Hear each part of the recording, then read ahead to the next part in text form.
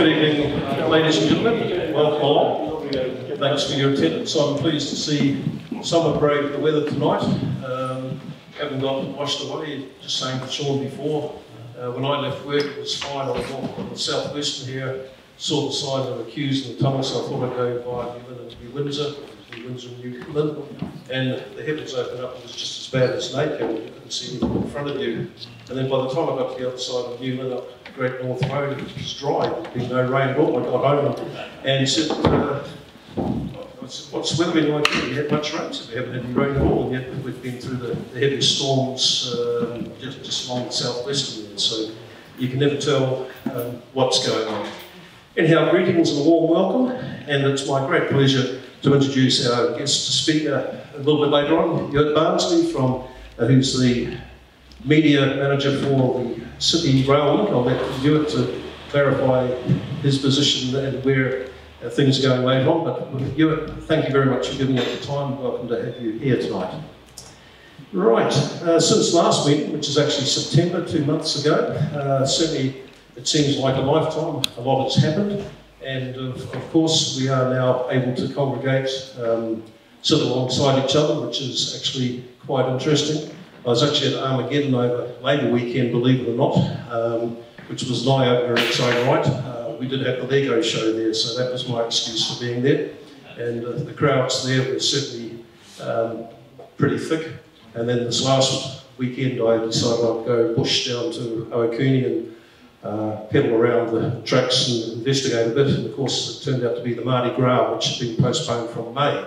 So I've seen seven Santa Clauses, eight Where's, Wallies, and uh, a whole lot of other interesting garb and costume, and a lot of preloading and all sorts of activity going on at Ohakune. So, uh, um, but I did see the Northern Explorer going through, and it did actually have quite a few passengers on it. So um, things are beginning to return to uh, the new normal um, at the present time.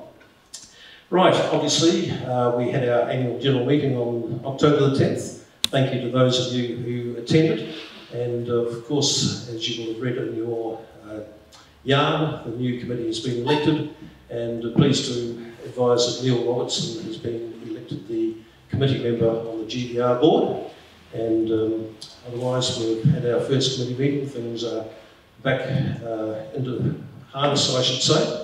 We are having a few challenges updating the database of the club rooms. Um, so Sean and Richard and um, a few of the others are Warwick, uh, getting into getting things sorted out there. So um, we'll keep you posted on that. Uh, more importantly, it's uh, hard to believe that in March uh, at the Glenbrook Vintage Railway, we were looking at possible near shutdown overnight when COVID struck and we went into a level four, all trains stopped running, all tour groups from overseas stopped arriving, and uh, it was uh, looking fairly grim. Um, thanks to a lot of the support, particularly by RES members, the COVID crisis appeal certainly helped get the railway through, keeping the guys employed and getting them working on other activities during that time. And of course, the upshot was that uh, on the 12th of October, uh, the train departed from Glenbrook through Pukekohe on our Grand North Island Rail Tour for 12 days, uh, setting quite a few records in terms of our own rolling stock, our own locomotive, our own train crew, and particularly our own driver, Tim, as far as uh, Ohakune and return.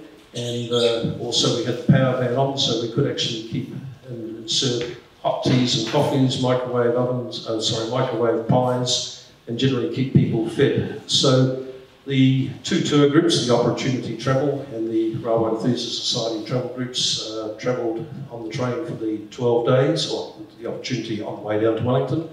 We did two side trips when the train was empty uh, in Hamilton down to Taumarunui and back on the Wednesday. Had a full train of 300 passengers on that one and similarly again on Friday from Ohakune to Taumarunui and back. Uh, so the locals are certainly um, were very interested in the train. Um, I was in Ohakune, sorry, Taumarunui on Saturday. They've just launched their own radio station, Main Trunk FM 88, and uh, they were playing it on the main uh, plat platform and uh, footpath. And uh, I indicated something, oh, well, we had a train down here. Oh, you the yellow carriages. Yep. Uh, so the yellow carriages certainly do make an impact, and um, I got back to my backpacking roots, staying at uh, Backpackers uh, overnight on Saturday night, and talking to the owners there. Uh, they said, oh, we saw the yellow train go through the other week, and I said, oh, that was us. So we have made an impact, and uh, certainly, hopefully, long may it continue. Uh, likewise, out of Glenbrook, we've had uh, an American, a major American film company uh, filming for quite a few days. Certainly, some very interesting moves. Likewise, there's been some other smaller charters happening out there. And um, I'll get John just to give a couple of words on uh, what's been going there the last uh, week or two. Thanks, John. Uh, okay, the, um, despite what you might think by looking at the, the yarn, uh, steam is actually active out there. Um, we've, uh, uh, we've now run the uh, 480 on four days, and we ran, ran, quite very successfully over the uh, long weekend. And a couple of weeks before that, we did a, a one-day film charter, um, which mostly involved just sitting around, but however, um, about a, um, a Maori activist lady or something. But anyway, that'll come out. and so, uh, so that was good. Um, we've, um, we're still plugging away at uh, uh, Loco 644, WW644, uh, and um, it's proving a lot more than I thought actually. We're finding a lot of uh, problems, not problems, but uh, things that need attention with the running gear and uh, suspension and all that sort of stuff. However, there's a good team there, and we every Wednesday, and we have a good team, and and Saturday. Um, so um, so that's good. Um, we've now got a roster out for the, uh, the running season, and uh, it's um, we'll go through a quiet period until uh, uh December when the Christmas light things start, and then uh, from from Christmas onwards, it's just about every day. It's all on. So uh, same as last year. Um, I'm particularly involved in the parlour car and that was very good, as was indicated in the uh, in the yarn. Uh, we were just about full on several trips and um, last last weekend on on the long weekend. Uh, so that was good, and that's going to be running. Um, well, what's the days? It's a dozen days over over the shutdown period, which is good. Uh, we've got a couple of young helpers who are helping out on that. They did good. Um, but other than that, um, we had a good um, staff training day, uh, very well attended. Everyone was there and um, we, um, uh, it's good to see uh, a lot of the people now coming back. It's a shame they weren't there during the, you know, when we needed their help. But as soon as the steam engine comes, they all tend to turn up. So, uh, so that's, uh, yeah, it leaves the old, leave the old buggers to keep the things going, you know. So, so, so anyway, so it's all happening out there. So uh, it's very good. And it's very pleasing to me because 480 goes like a rocket. Terrific. Good on you. Thank you. Thanks, John. Right, just uh, repeating, yeah, Christmas lights trains at night, uh, 11th to 13th and 17th to 22nd of December, and then the holiday running from the 27th. Look up on the GBR website for the other days, and um, we look forward to seeing you out there. And then, of course, uh, we're just in the process of planning another rail tour in April 2021. Uh, currently the working title is East-West Rail Tour. Uh, will get us down to Napier if we're not uh, floating away by that stage. Um, uh, New Plymouth and uh, Palmerston North and uh, certainly a couple of days in each of those towns which will be good. Um, John is throwing his attention to that and I'll probably put a tuppence worth in as well. So we'll keep you fully posted on that one hopefully next month. So I think that brings us up to date, and uh, of course, always more than welcome to have you all out at the GBR helping with uh, any of the work that's there. So without further ado, we'll move on to the main program tonight, which, as I say, Ewart Barnsley from uh, City Rail Link, and um, will give us an update. I think I'm correct in saying this is the largest or the biggest infrastructure project in New Zealand.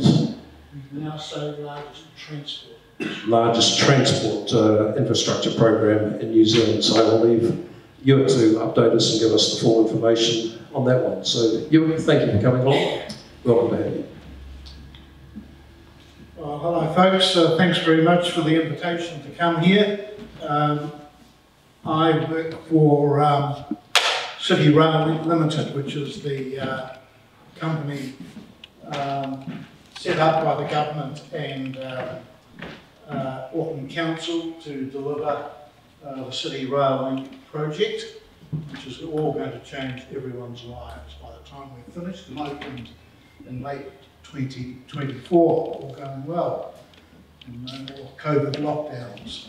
Um, so we're basically about half, if you look at it on the calendar, we're sort of halfway through the project now. We started construction in 2016 uh, and uh, due to finish late 2024.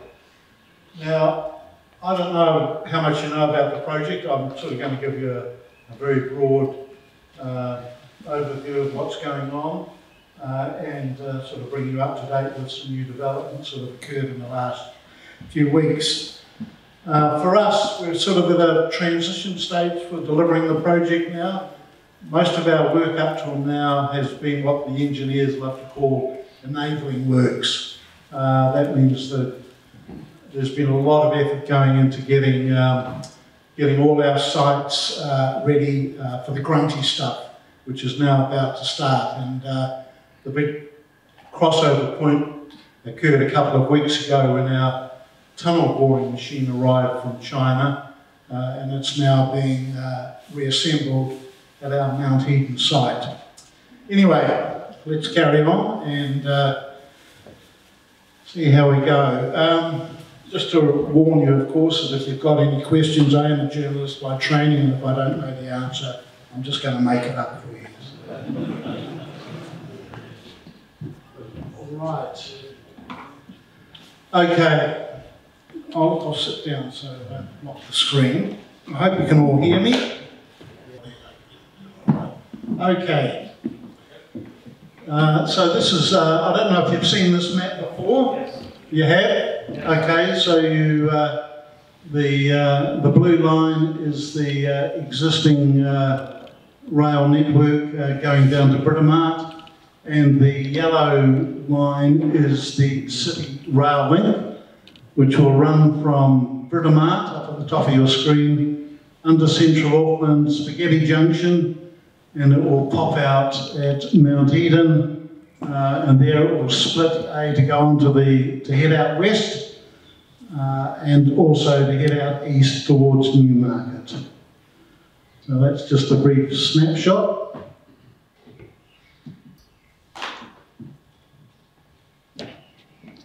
Three point five kilometres long.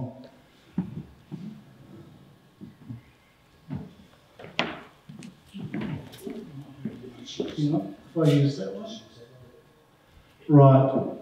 So once again, uh, this is uh, another map. You can see that the um, essentially what City Rail Link will do is uh, Britomart will stop being a dead end station and will become a through station, uh, and it will also eliminate the need for uh, trains to go into Newmarket and then come out of Newmarket and go down to Britomart.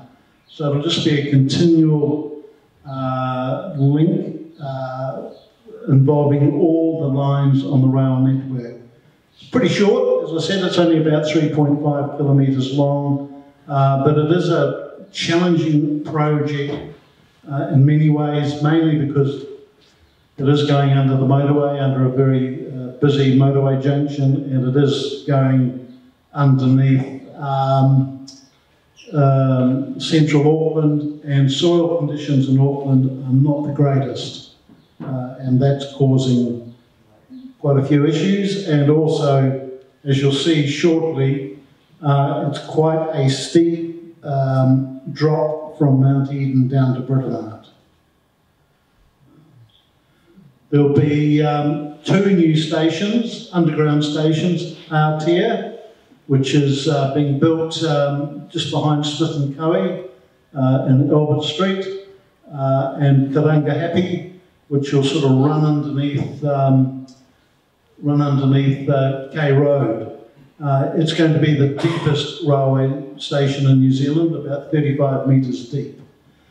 At the same time, uh, Britomart and Mount Eden are going to be redeveloped. Uh, Mount Eden Station is currently closed and will remain closed until, uh, until the project is finished.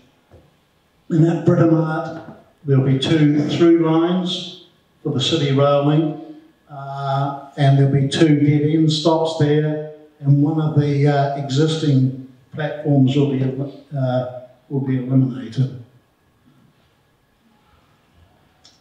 Right, so just a brief overview, three, uh, 3.4 kilometres twin tracks connecting Britomart to Mount Eden, tunnel depth about to 42 metres, two new stations.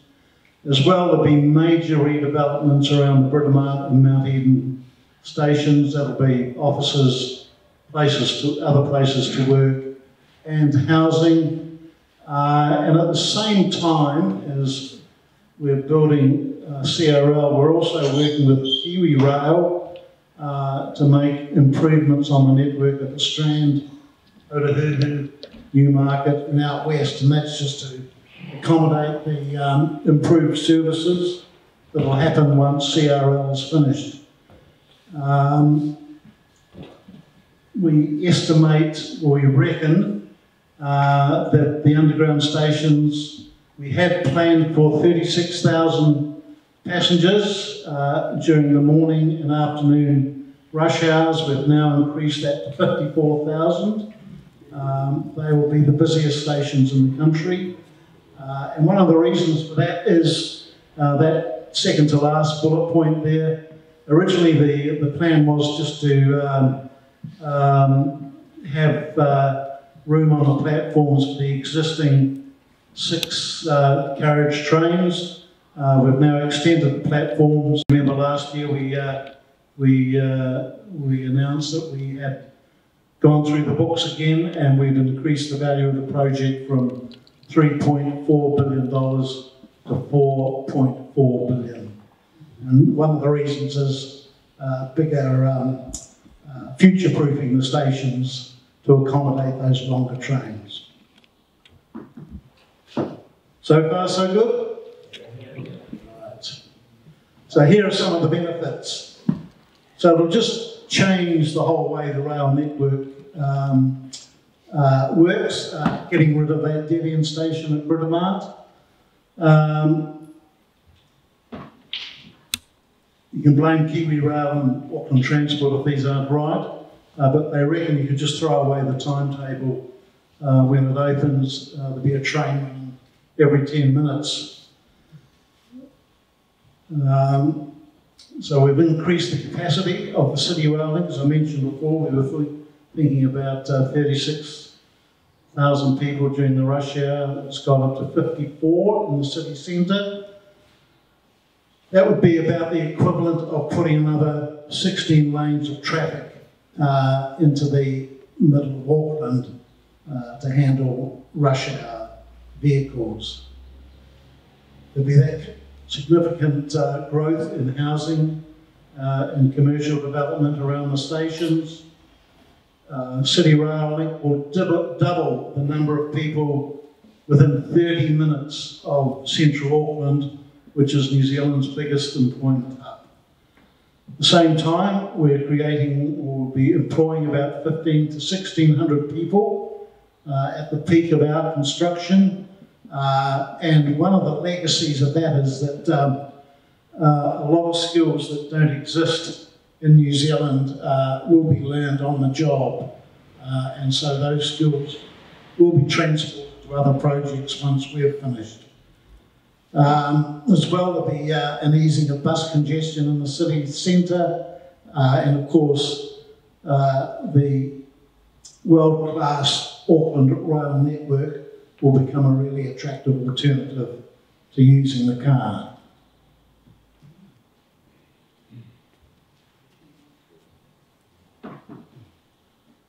Half time.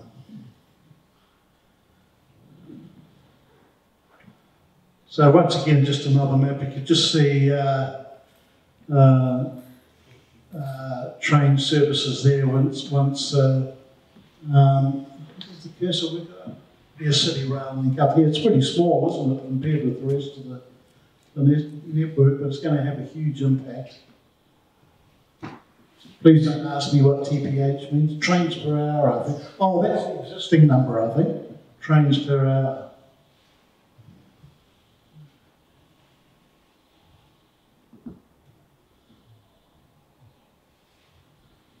Um, so the project is being delivered. There's a number of different companies uh, delivering the project, and I think we've got about uh, six up there, but there are more than that. Um, so the first two projects to start were contract one, which is Britomart, the old CPO building, uh, building the tunnels across the bottom of uh, Lower Queen Street and underneath Commercial Bay to the lower end of Albert Street. That's the purple one there. Um, there's the downtown, well, what used to be the downtown shopping centre is now Commercial Bay. And the other early contract that started in 2016 was this one here. This is the lower, lower end of Albert Street from uh, Custom Street up to Wynyard Quarter and the um, Shakespeare pub on the corner there. So there were two joint venture companies involved with those projects. The biggest slice of work is this one here from Aotea Station all the way out to Mount Eden. Uh, that's being delivered by a uh, what we call an alliance. City Rail Link and six um, six companies are in that alliance. Three three of the companies are uh, designers, and three of them are um, constructors. And um, three of them are from overseas. Uh, there's a, two French companies that have never worked in New Zealand before. Uh, they're the key part of that uh, alliance. It's called, called the Link Alliance. Uh, and the big beauty about an alliance is um, I used to work for the New Zealand Transport Agency and were building a piece of motorway, they'd get um, designers in first to build that piece of the motorway, and then they'd put that design out for tender, and the constructors would come along and build whatever was put in front of them. Uh, it didn't always work out very well. I don't know if you remember when they opened State Highway 1 and 20 and that connection at Manukau, where um, the southwestern and the uh, southern motorway joined up and there were track jams for Christmas. The big, big advantage of the alliance is that the uh, designers and the constructors all sit down together right from day one and they just thrash out uh, ways of doing things better. So there's a whole lot of flexibility uh, in uh, how they deliver the project. And designs, even now, even though we've signed that contract with the Link Alliance, um, designs will change all the way through the life of the, uh, of the work that they're doing. Um, one of the other projects, this one's finished now, uh, that was just a little stormwater drain uh, at Mount Eden, um, just to uh, clear the way for the, uh, for the tunnel, uh, the rail connection there. That's where we found a tree, fragments of a tree that turned out to be about uh, 30,000 years old, been knocked down by a volcano, um, an eruption on Mount Eden apparently. Uh, as well, um, Christmas, there's this little green thing here, that's the eastern end of um, the Britomart station. We'll be doing some work there with Kiwi Rail, uh, just some track improvements uh, and some changes to the building there. Once again, to accommodate City Railway and all the extra trains. Uh, and we're also working with Kiwi Rail at the Strand at Parnell. We're finished there, but Otahuhu, um, there's an extra platform going into the station there uh, and about 300 metres of extra line as well, just to accommodate all the extra trains. And there will be improvements at Newmarket uh, and possibly Henderson or even out further west than there. So there's a lot going on. It's not just a city, city centre project. There's quite a bit happening all over, all over the network. Um, I did mention before that uh, this is one of the challenges um, for the project. This is just a cutaway, it just shows you, uh, here's Britomart down here, and here's uh, Mount Eden um, up here. So it's quite a steep, um, quite a steep uh, drop or steep rise, depending on which way you go. Here's the Karangahape Station. Uh, it just gives you some idea of how deep the uh, platforms will be. Um, and here's Aotea here. Um, there's also a, and here's the central motorway junction. Oops, sorry. We're a bit nervous about that. Once again, get, getting onto that motorway, there are a lot of, uh, lot of lanes of traffic there. Um, and also, one of the features of the city rail link is once again, it's not only just the uh, how steep it is. I think it's, I think that grade is about as far as we can go with existing railway stock. Couldn't couldn't have it any steeper steeper than that. Uh, and there are also will be quite a lot of sharp curves as well uh, to get from A to B. So you won't be rocketing down there at 200 kilometres an hour, that's for sure.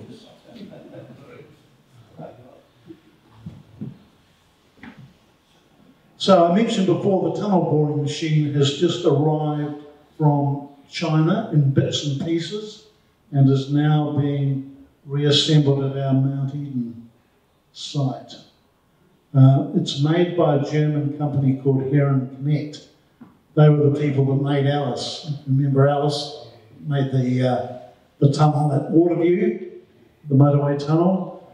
Um, we have called this one by tradition tunnel boring machines. Um, have to be named after a notable woman, uh, and that's in honour of Saint Barbara, who's the patron saint of people who work underground.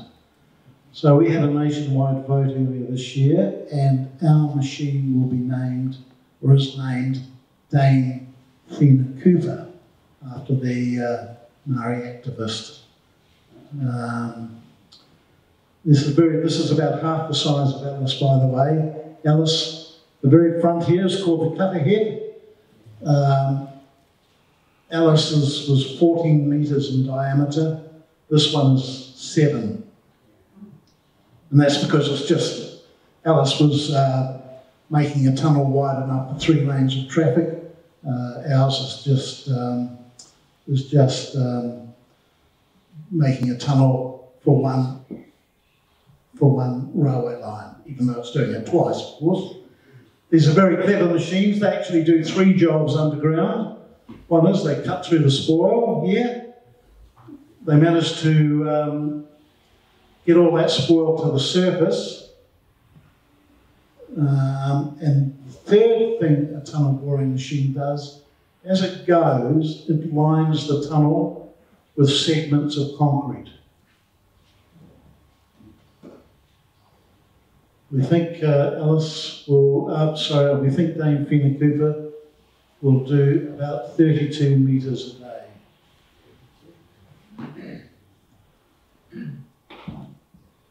How fast is the? Oh, here it goes. Look, there it is. And you see the red line there? That screw is taking the soil from the front onto a conveyor belt and then out to the surface.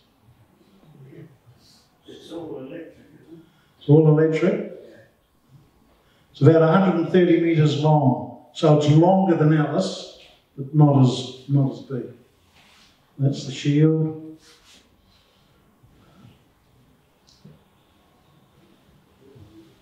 And there it's lining, putting the concrete segments on the tunnel as well. So what, when it does that, when it puts the segments up, it stops excavating, puts the segments up. I think there are seven segments in one complete circle. Uh, then it just uh, uses those segments to uh, push itself forward and do a bit more digging. So what will happen with our TBM? It's going from Mount Eden, it's only going as far as Aotea in the middle of town. Uh, that's because we've already built about 800 metres of uh, tunnel up from Britomart. So what will happen is when the tunnel boring machine gets to Aotea, that front section, cut here, here, will be lifted out of the ground, put on a truck, uh, and then taken back to Mount Eden. Uh, and in the meantime, the rear sections, which they call gantries, I think it's about four of them, and they have all the all the gutsy bits, you know, all the oil and um, hydraulic stuff and ele- um, electrics and stuff like that. They'll be pulled back through the tunnel, back to Mount Eden, and then they'll be hooked up again to the front of the machine, and away she'll go for the second drive.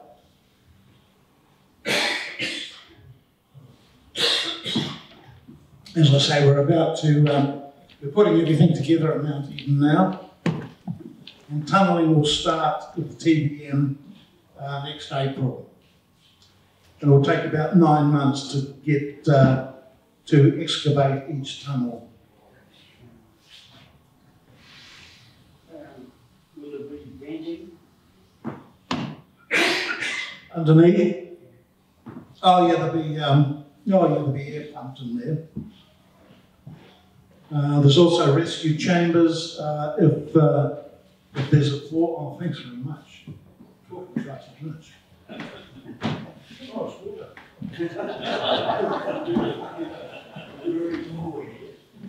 Um, so it's, it's like, there'll be about 12 or 13 people working on the machine, it'll go 24 7.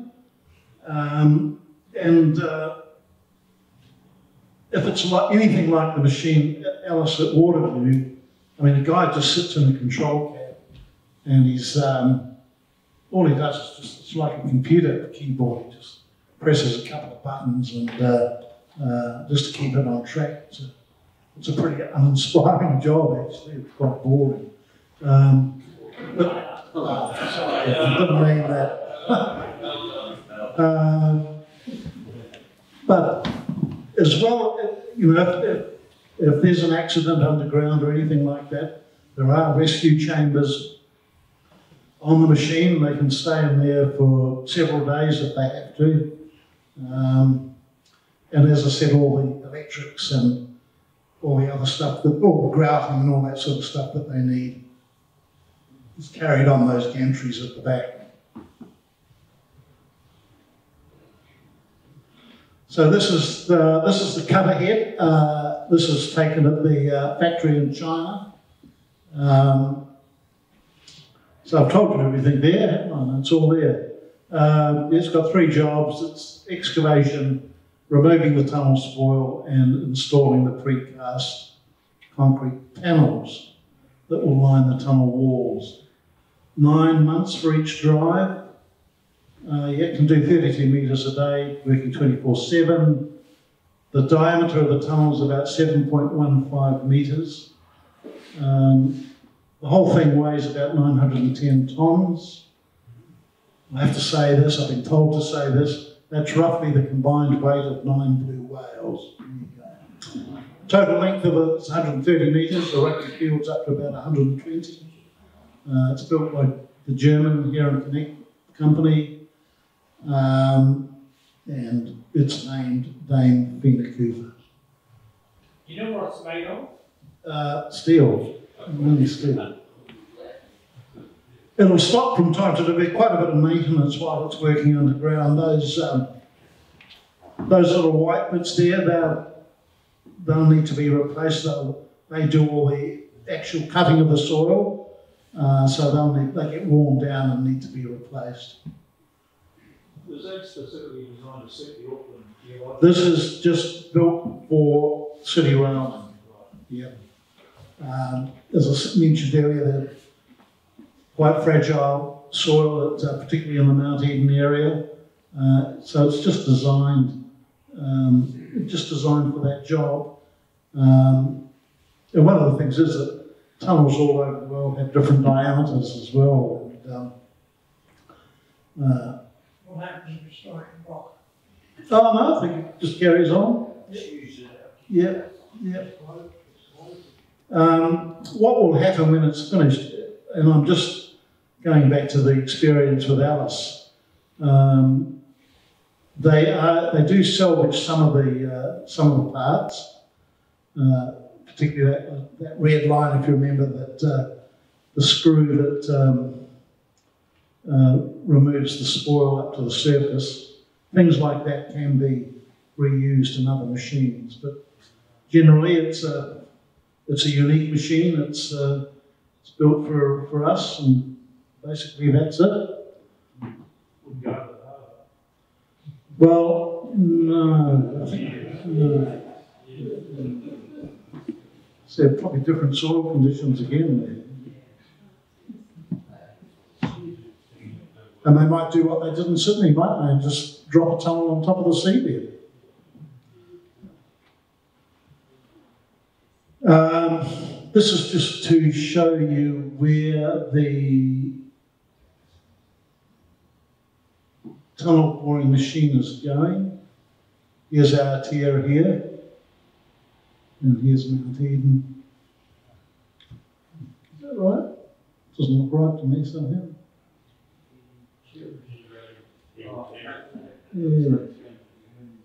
Eden Terrace. Oh, I see here, there's the, uh, there's a little bit of, uh, that's where the, uh, the CRL heads east. So the TBR tunnels have a 3% gradient, and the tightest horizontal curve is 140 metres. I hope you people know what that means. Height from the surface to the tunnel crown varies from approximately 8 metres to 35 metres, depending on where you are.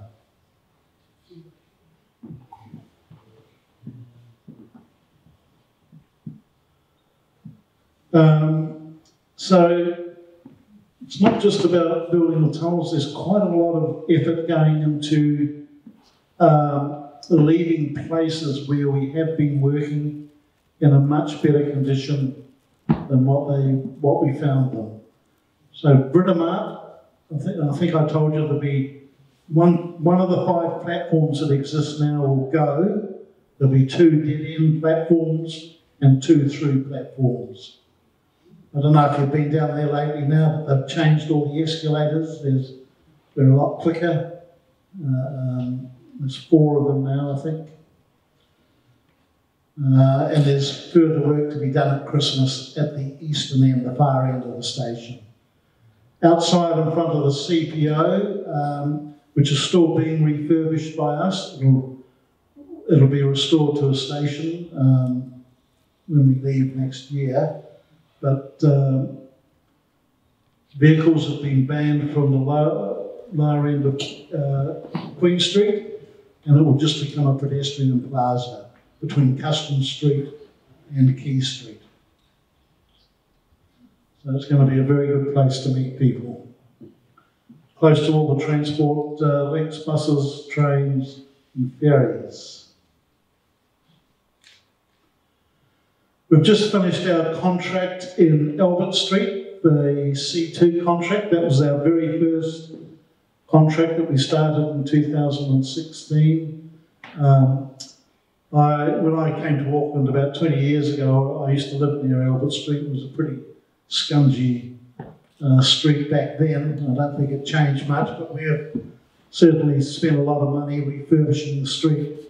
Um, it's much more attractive now than it used to, that's for sure.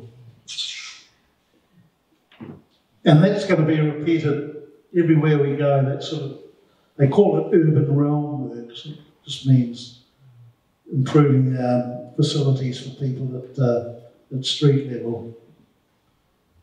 All that bit of Albert Street, we can look down and see the tunnels at the moment. Is that going to be covered up or not? Um, it's covered, well, the C2 contract that went from Custom Street up to Wynyard, that's all covered in now. But there's more. The Link Alliance carrying on from Wynyard up to the Aotea station, so there's about another 150 metres of tunnel to be built, and then it links up with the station, which they're building there as well. So, uh, this is what the Aotea station will look like. So it's on the corner of Albert and uh, Victoria and Wellesley Streets. Um, they're using quite a unique way of building the station. They're actually putting the roof on first, and then they're going to excavate underneath the roof. Take all the spoil out and then build the platforms. Uh, and by doing that, they sort of reduce the, um, the time that tra- traffic on the surface is disrupted. Um, so they get in, get in, in and out uh, a lot quicker. One of the features, and we've already won some international uh, awards for this. Um, uh, we do have quite a um, close ties with um, Tamaki Makaurau Iwi, and they've been playing quite a big, um, big role in helping us design the stations uh, to give give them a very unique uh, New Zealand feel. And you can see that from the um, um, from the ceilings there. Um, uh, I think el- elsewhere at Aotea there will be um, lights on the ceiling representing um, Matariki and things like that. And above, um, I don't know if it's maybe here. Uh, so here's the station here. So there's a big office block planned to be built over the top of it.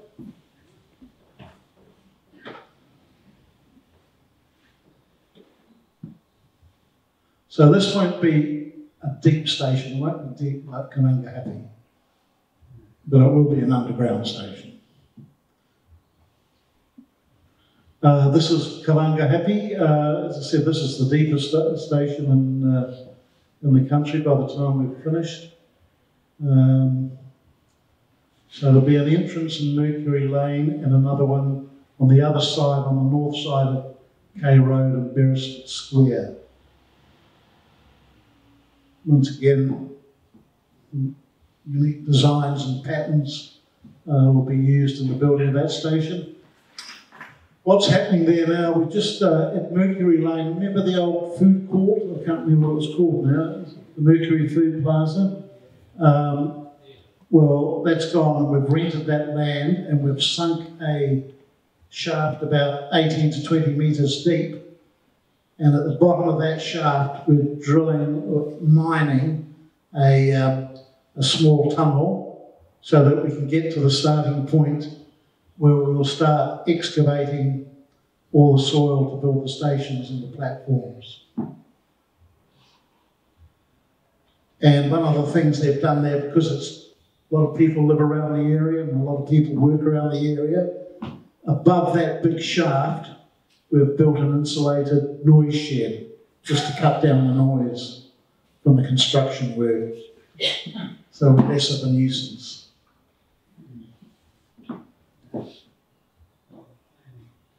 Uh, and here's Mount Eden. Uh, once again, uh, there'll be a lot of um, quite a lot of complicated work here because we've got to tie City Rail link in with the um with the existing Western Line.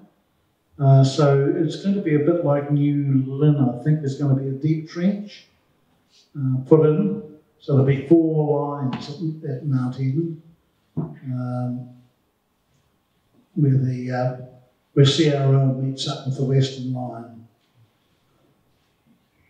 And once again, um, once again, um, a lot of development around the station as well, just to make it a much more attractive place to be.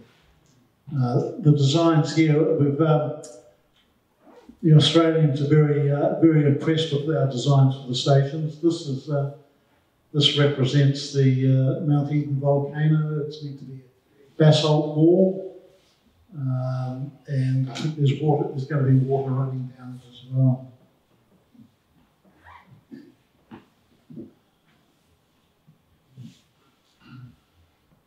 So, just to repeat that, so this is uh, this is what the front of the uh, CPO is going to look like in Lower Queen Street. Um, it's going to help transform the city in more ways than one, not just how we get around, but where people live and where they work as well.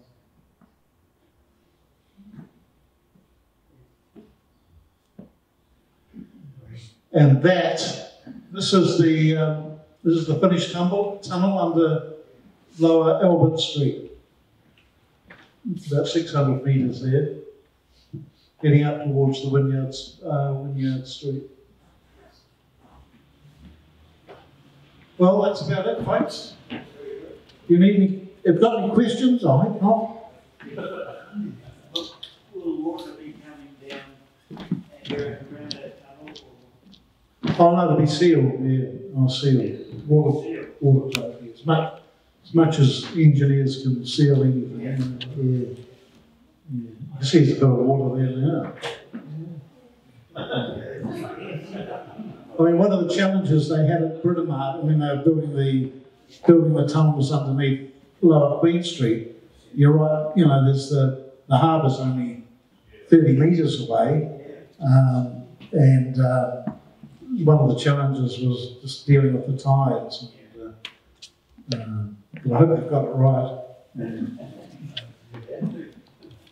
Yeah, with the, um, the recently released, um, findings that suggested rail tunnel is the first priority for going to the shore.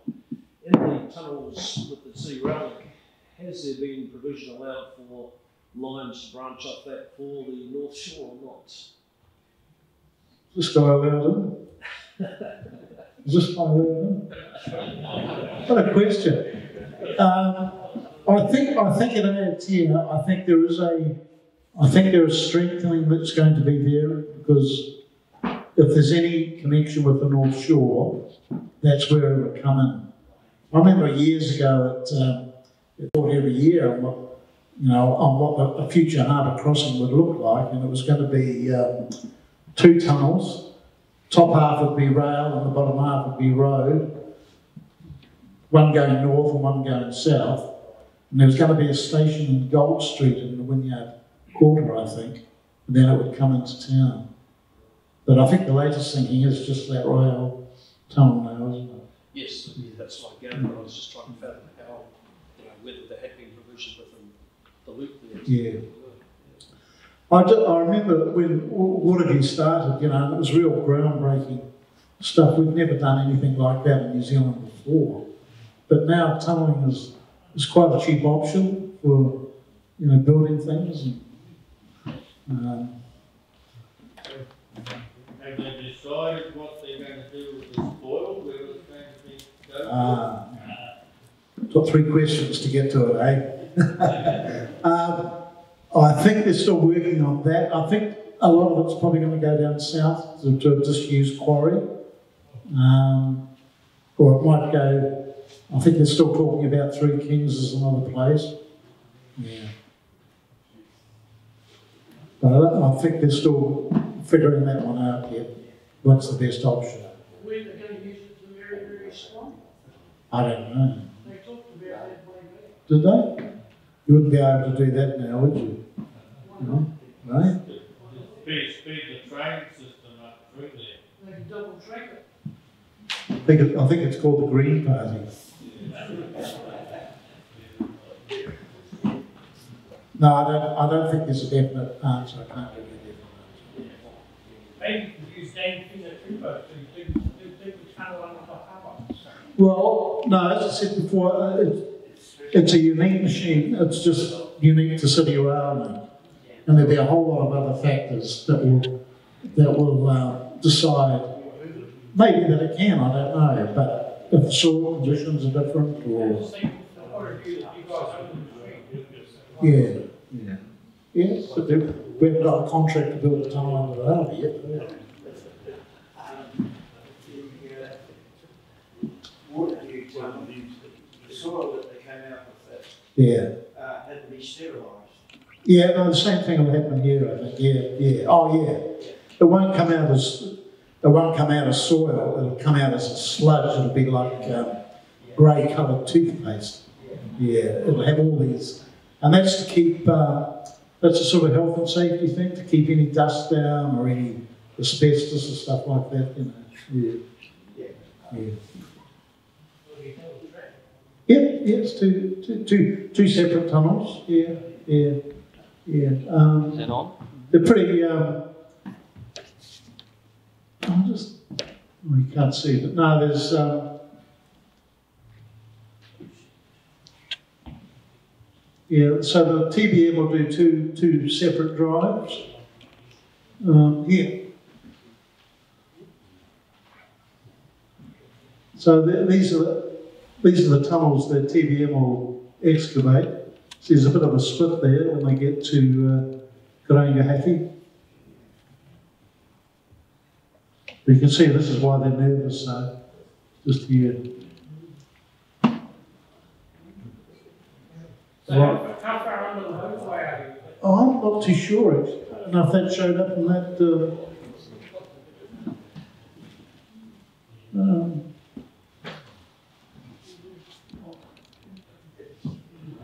well, there's, there's the South Central Motorway junction there.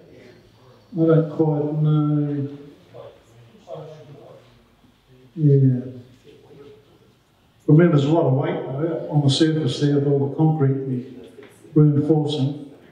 these stations that Yeah. are shown there, will they be level through the station and then as that drawing?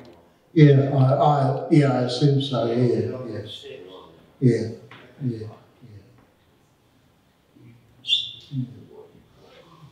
Okay, got any more questions for you? Excuse me, sir. Yeah. I'll ask a question, please. Yeah, This tunneling machine is a beautiful machine, but from Mount Eden, you're gonna get a lot of rock. How's it gonna get through? no, I think it's designed for that. They don't, um, over the, part of the preliminary work is that they have drilled thousands and thousands of test boreholes along the route of the tunnel. So they've got a pretty idea, good idea of, of what's, what's below ground. And so that machine was designed to deal with all that. I know rock will blunt things, won't they? Very Yeah, yeah, but they can, they can, they can replace those, um, they can replace the, the cutter bits at the front of the machine. Don't forget, tunnel boring machines, you know, they do thirty-six kilometres under the Swiss Alps. So they're pretty, uh, pretty tough, tough machines. I think, I think the real concern here is that, uh, particularly at Mount Eden, the, the soil is, is, um, is quite soft. That's what their, their, their big worry is. They're just about to start mining the first 50 metres of the Mount Eden tunnel, um, and that's just so that they can fit the tunnel boring machine into there next year. Uh, and there's quite a lot of reinforcing going into that uh, first 50 metres. These guys, uh, the, particularly the French guys, uh, you know, that's that's their livelihood. There's guys there that have, you know, built metro tunnels all over the world. A lot of expertise. Well, what I haven't talked about actually if, um, is that we have been impacted quite a bit by COVID. Um, when the Link Alliance made its bid for that big contract, uh, in that in that bid, they said uh, they would need 200 workers, international workers, uh, on site because those workers had skills not available in New Zealand. Now we've had a hell of a job getting some of those 200 into the country, partly because of the border controls, but partly too because there are no flights to New Zealand. We had one guy from France who made seven attempts to get into the country, uh, and he just couldn't couldn't get here in the end. And on the other side of the problem is this: the international workers that we do have here now, they can't go home and see their families because they can't get out.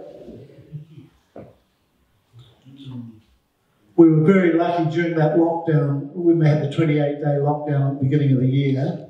We had 800 people, even though there was no construction work, we had 800 people working from home, doing design work, getting consents ready, rejigging all the construction programs so that um, when things restarted, we were pretty quick out of the starting blocks.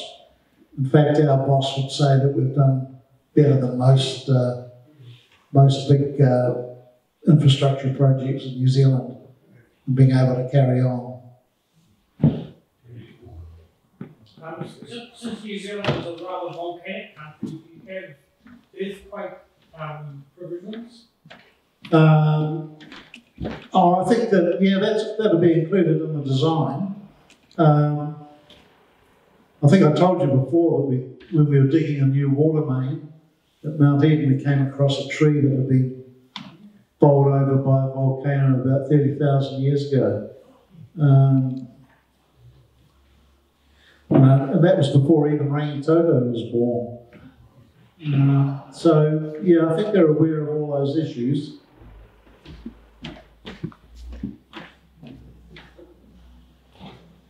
Yeah, Just thinking of it, something like Christchurch earthquake yeah, we had, and suddenly one of those tunnels is shut. It would be a bit of a disaster for the transport. well, I think, well, that's a bit of a disaster for anyone in New Zealand, isn't it? It's, uh, it's a fact of life. We, it's a country built on two, two, uh, tectonic plates.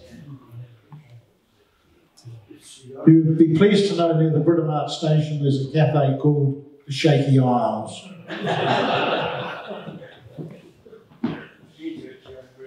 Hey, that's right. Oh, I think that's the same anyway. isn't it? I just, uh, I, I grew up in Upper Hutt, and I can remember them building the uh, tunnel under the Rimutakas, and um, three or four people were killed there with a, a landslide. And uh, I've been through it a couple of times, and I always get a bit nervous. It's a bit of a long ride.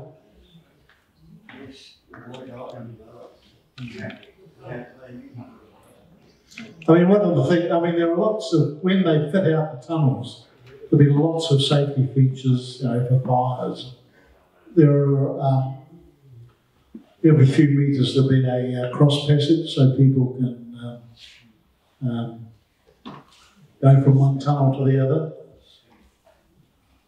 And it is electricity, you know, so there's probably less risk of a fire, I guess. I don't know. Be ventilation shafts. Well, yeah, just to surprise you a little bit, just to show that the railway enthusiast has, has been doing its bit for planning. Uh, Some of members may have seen some of these, but Chris will get you the whole, scroll down. Sorry, these are archives from our clubrooms, um, which shows the uh, actual uh, planning for the City Rail dating back to nineteen fifty-three. So, uh, with of the, of course, in those days, Britomart wasn't planned, although they did actually have one going around the front there. And, um, yeah, various options in terms of, uh, what was planned, uh, at that stage. There with, as you say, shows the gradients that, uh, what you've shown on your slides tonight. So that was, uh, one of them there. And then the other one was Robbie, a member of the government? yeah, yeah it was, I, think these were actually done for the nineteen fifty-five, uh, Macquarie, Oh, uh, okay. transport thing, which is where they decided on motorways. And, uh, this one here, um, likewise, sort of gave the overall layout, which believe it or not, tunnel under the harbour and train running up around, line running up around Making Cookie right up to, uh, Torbay Yeah, uh, with your city rail links there, one across the North northwestern motorway, carrying on up, Avondale south down. At that stage, there's nothing to the airport because the airport hadn't been uh, right. And a different uh, alternative instead coming in at uh, Westfield, coming down through Panama Road, coming out Oh, okay. later. So, uh, yeah, we've, we've, we've doodled around and thought, well, there's a, a few options. Um, I think the thinking for the cross harbour is that it would sort of run pretty close to the existing bridge and go up, what's that bay, up, up to uh, Esmonde Road, I think. Yeah, Eastern Road. And it would prob, once again, I think the, you know, the busway there was always going to be a, uh, I think the thinking way back in the day was going to be for metro, you know, light rail, and What most probably can't see, there is actually a dotted line leaving, um, of course, that's showing the, old- the uh, proposed port up, uh, harbour at uh, Island. Uh, dotted line here where another rail link connection was to come right up and head on that way. There's a dotted line leaving around there and coming up there, Mm, coming up this way. So, Makes sense. yeah, so, uh, you know, I, um, we were looking at some documents, uh, at work today, and, um, whatever Auckland Transport was in two thousand and two, I think that's when they first started talking about CRL, said it could be built for half a million dollars, half a billion dollars, five hundred thousand. Uh, cheaper than half the price, yeah.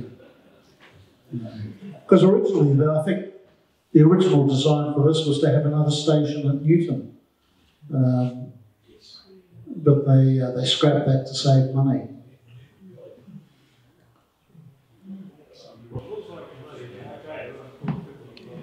From, uh, Mount Eden down through, but not the other way. You have to talk to Auckland Transport Kiwi Rail.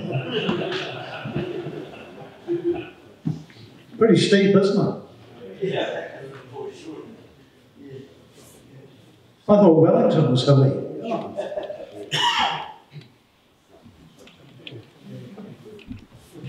All right, folks. Okay.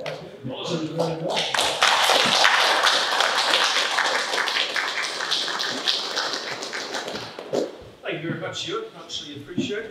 Um, certainly, folks, I hope that's uh, given you a little bit more of an insight into what is, has been happening and what is about to happen underneath the centre city. And of course, when it is complete, we will have a world-class um, rail system, we hope, uh, as long as there's no more outside uh, interference. And um, we can just get on with it, and uh, we've got a bit of money to pay for it, I guess, is the, the next thing. So, um, no, excellent, thank you very much. Okay, Being such a good audience. what I'll do, I'll Uh, just- it's. Sorry, sorry, no, Gary. I'll switch this up. First rule of the recorder, then switch the microphone off. Um, because you've been so good, laughed at all the right times and didn't ask me um, awkward questions. I've got some brochures here. You can have your own cutting together the tunnel boring machine. And um, there's some other stuff here about the tunnel boring machine. Keep you awake. So, stacks. So just help yourself, folks. Thank you, Ed. I'm sure people will certainly uh, get onto that. Okay, folks, um, I have got just a few slides of the Grand North Island Rail Tour, so I'll switch over the USB sticks while we're having supper and then play those just while you're having supper in the meantime. Floyd's uh, chomping at the bit here to uh, talk about the calendar, so I'll hand over to Floyd for a minute. Not so much the calendar here and there, but this is a calendar what we, on behalf of our do this, we all presentation and excuse calendar. I was very, uh, I think there's, there's a rail magazine that's gone out of business, is that right? Yeah, the Rail Fan magazine unfortunately has ceased publication. There is a new one that has started up called The Mining Site, which is being organised by, uh, uh, produced by a guy in Oamaru.